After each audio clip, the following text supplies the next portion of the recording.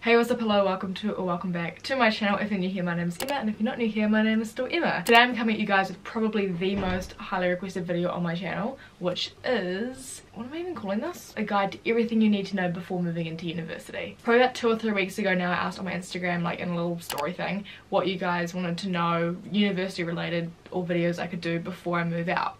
So you guys sent in a heap of stuff and I was like you know what let's just put all of this into one video. So I didn't really want to make this whole sit down thing but I guess I kind of had to to intro it and stuff. There's like 10 questions I think but I'll go into detail on all of them because I feel like this is a video that I really needed when I was coming to university so hopefully you can take something from this. And also while I'm here this is the last video that I will be filming in this room as a sit down video. Isn't that not crazy? So I'm hoping to turn this video around and get out to you guys by Saturday which means when this video comes out I won't even be in this room anymore. Today's Wednesday so yeah crazy i've tried to put these in as much of a logical order as i could so um I guess we'll start. First question, and I feel like this is one that a lot of people worry about. It's not something that you need to worry about, so let me just touch on this. Cost slash how to pay for uni. If you're a New Zealand resident, you'll be introduced this beautiful thing called StudyLink. So, StudyLink is run by the New Zealand government and it is a way that students can access interest-free loans or allowances if that is what they're eligible for. If you're a New Zealand resident and you're starting uni, you will get that first year fees free, which saves you, depending on what your course is or your degree, it can save you like a lot of money. So for me personally, I think it saved me like seven grand, which is amazing. But that's just to cover your first year to kind of get you started. And don't think, oh yeah, cool, fees free, I'm gonna go and I'm gonna do a year and I'm gonna quit. No, you have to finish your degree for it to count. So don't try out smart the system. So under StudyLink, there are two that I'm aware of that you can apply for. So there's a student allowance and a student loan. So the allowance is money that you, if you are eligible for, you get and you don't have to repay it once you finish your degree or whatever. If your parents um, earn under a certain income or you don't live at home or there's a few criteria you have to meet in order to be eligible for the student allowance. And if you are eligible hold on let me get the facts up here. After tax you're eligible for $237.90 per week which you don't have to repay. So that's to go towards living costs and with this I think you do have to live away from home and like not be like married and stuff like that. So there are a few criteria to meet so definitely look into that. And the other option is a student loan. So if you are not eligible for a student allowance you are eligible for a student loan to cover your living costs. So this is a maximum of $239.76 per week and I think that's after tax. There are a lot of factors for each type so if you want to look into it definitely do look into it. Um, I found it wasn't that hard to try and understand but like you log in using your Realme login and blah blah blah. Like it'll make sense once you get in there. Don't take what I'm saying too seriously because their rates and stuff and what you're eligible for they do change that quite regularly. Like it's changed since I applied. For that you apply online at studylink.govt.nz I think that's the website. Don't quote me on this either but I'm pretty sure I applied on Boxing Day last year. So the um, cutoff for that if you're a new student yeah it isn't for a while yet. So get onto it but don't stress about it. The next thing is what to bring to uni when you're moving in it was kind of hard to narrow it down because obviously there are a lot of things you need but the kind of key things I've got here is obviously bed sheets, your pillows, your duvet etc because if you don't have a bed like bed sheets where are you going to sleep? If you're not planning on going home anytime soon bring clothes for all climates it's like summer winter whatever. A bag like a school bag or a shoulder bag or laptop bag or something for carrying your books to class. An over the door clothes horse. I'll put a video in here of the one i have. It's from briscoes cost like 13 bucks. It wasn't even on special but it has been amazing this year. I don't hang it over my door, but I hang it over like my heater, and it's amazing. Also, I used to hang it on my curtain rod, but the curtain rod started to like bend, and I don't think that, was very good. But anyway, and I also have a printer here, which I found personally quite useful, and a lot of people have also used it as well. They have a printer here, like I don't know about other unis, but they have one here we can pay to use, but it was was going to work out the same price to me to buy a printer and buy the ink and the paper myself. So I just went with that and it's been good because it saves you time not having to go anywhere anyway if you can justify a printer I would recommend that. Things you didn't get told before moving into uni that you wish you knew. Here at Waikato University they have a Facebook page where you can buy secondhand textbooks and if you're not aware textbooks are expensive expensive they are so expensive. So if you can if your uni or your polytechnic or whatever have like a place where you can buy secondhand books and resources definitely try and ask like an older student and find out if that's a thing because it can end up saving you a lot of money. I haven't bought any textbooks new this year and it saved me quite a lot. And then obviously when you sell them you can sell them back on that you can sell them off on that same page and basically get your money back which is awesome. Also, when you get given your initial timetable, I don't know, obviously I can only speak really for Waikato University, I don't really know what other unis do, but for us, your timetable you get given before you move in that's available online, it doesn't have your tutorials on it, it's just the lectures. I remember looking at it and being like, I have so much free time. No, you'd have to have tutorials in there somewhere as well, which you sign up for once uni actually begins and you'll get told how to do that. Moving in day tips and tricks. I have two points here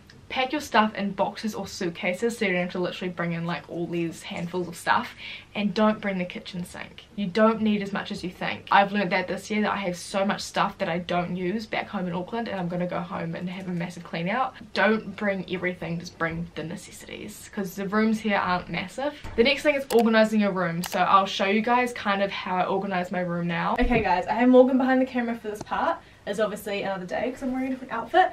But I'm going to quickly show you guys how I organise my room. Obviously when you move into a room it won't be the same sort of shelving situation as this even if you are like at university that all the room like Morgan's room's different to yeah. mine. This is like food and medication stuff. This is my jeans or pants. This was a basket here which was kind of like my cups and plates and stuff. Undies, pads, bras, socks. This is just full of random stuff which doesn't really have a home like board games. This has got activewear in it and then obviously you can see this is random stuff displayed. This has like gym stuff in it. It's like stationery and then I have like merch stuff that was was down there but now it's all at home. And then this has t-shirts and this has shorts and then winter obviously there's no shorts so I would put like scarves and stuff and beanies in there. This is like jackets and jumpers and my washing basket lives down there with my towels. And then in this little annoying cupboard, I have my toiletries and then I have this random stuff. It's really deep too. Yeah, it goes actually all, it goes the way, all the way back. back. Also, little tip, my mum's like, why do you hang your key on your door handle? It's because you see it when you go out so you don't lock yourself out. That's a good tip. I should have thought about that the whole year, but... You don't do that. No. It's just usually right Even better if you've got your door open, like hooked back. And you put your key there. Put your key here so if you accidentally shut the door... You're not locked out. You're not locked out, yeah. So, that's all. Alright back to the video. How to make the halls feel like home. So if you're like someone who's prone to being homesick or under 18 or whatever your bedding if you like your bedding at home obviously the beds here are single beds so if you don't have a if you have a double bed or something at home and you can't bring the duvet from home then find like one that's like a similar kind and have a photo wall. Love this. I can look back and be like wow memories. And then have good smells. I know that sounds really weird but you can't burn candles here but if you have like some of those what are they called? Like the thing with the oil with the sticks in it and like you turn them over of those things incense isn't the right word something that just makes it smell like you and then it'll feel more homey. Things that surprise you about uni expectations versus reality. People stealing food. People will steal your food out of the fridge, write your name on it, keep tabs on it. You have to wear jandals in the shower. We don't have to, but most of us choose to. It feels a little bit like school camp, not gonna lie, but we love it, we embrace it. People here are alcoholics. Some of them are. That's totally fine, none of my business, but just be prepared that there is a drinking culture around universities. And you never get alone time. you never get alone time. I mean, I have alone time now because Rachel isn't here. Rachel's my bestie, she lives behind this wall. But yeah, when everyone's around, you don't really get alone time. There's always people knocking on your door, coming to say, hey, it's great but just prepare yourself for that. How to be social slash make friends in the halls. And at this point I was hoping I'd be able to put in a skit about how me, Morgan, Taya and Rachel all became friends, like reenacting it from what happened earlier in the year, but that didn't happen and Rachel's also like not sick but she's lost her voice. So um, basically long story short, I met Taya because I went to school with her and then Rachel was also on our floor and then Taya and Rachel became friends and they came and knocked on my door and said hey want to come to dinner which is how I became friends with Rachel and then during O week, Rachel was going somewhere with Morgan, who she'd met with through another friend that she'd made through someone she went to school with, and then I met Morgan that way and we bonded over a dog. So anything is possible. Connections get you a long way in university. But since we didn't do the skit, I've included a couple of pointers in there for you guys, so listen up. Be friendly, be humble, invite people to come to dinner, and your vibe attracts your tribe. What happens during O weeks? So I personally wasn't here for O week. I also wasn't 18 during O week, so even if I was here, I wouldn't be able to go out to the like town when everyone else went out. Not that I probably would have because uh, so if you are over 18 they have themed nights. They're like toga parties foam parties jungle parties all sorts of different themed dress up things basically. And you can jump on the shuttle bus go into town party where you like catch the bus home, catch an Uber home, whatever, and that's awesome. They also have events on on campus, so you can like take campus tours. It's basically a week we have no classes. You can get familiar with the um, with the campus, make friends. It's actually a pretty cool time. I wasn't here for it though because I was getting my wisdom teeth pulled out. From what I've heard, it was a good time. Jump in workload difficulty from year 13 to uni. I would say there is a higher workload, but with that it is more interesting. Um, so I thoroughly enjoyed this year way more than like this is okay.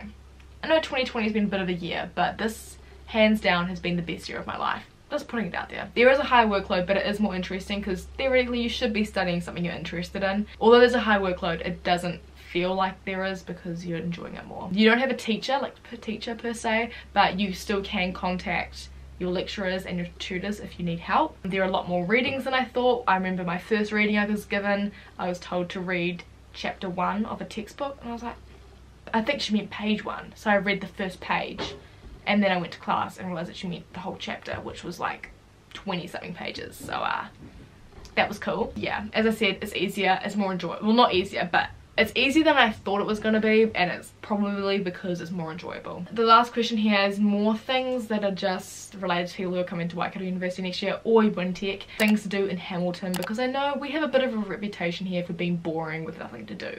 So I'm here to uh, dismiss that little uh, rumour because I love Hamilton. You guys know it.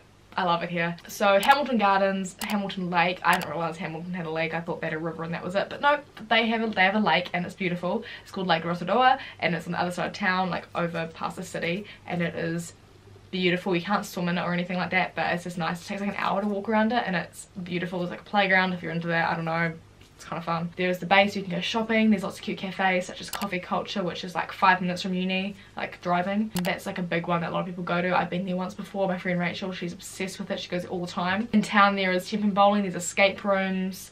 There's obviously town if you're into that. There's also the river, so you can go for like, you can walk down to the river basically like any point and like walk along. There's like a footpath that's really, really pretty. And then out of town a little bit, like probably half an hour from the uni here, there's this walk that's like 1300 steps up with an amazing view over like Huntly around Hamilton sort of area which is called the Hakarimata walk and that is amazing. I did it once with Owen and his parents and it was really hard. There's like a sign at halfway where it's like you're halfway. I thought that that was the end and I was like and also here we have the perk of being I think it's like 45 minutes from Raglan from here. So yeah I haven't actually been there this year because I just haven't really had however time.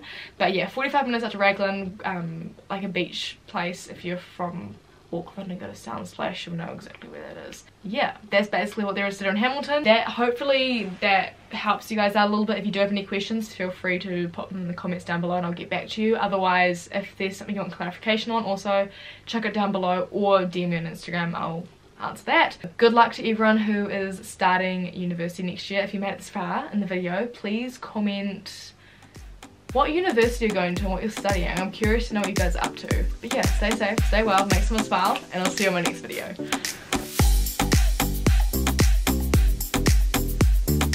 Hey, what is up? what was that? I need to stand up, bro. I was doing really good with the angles.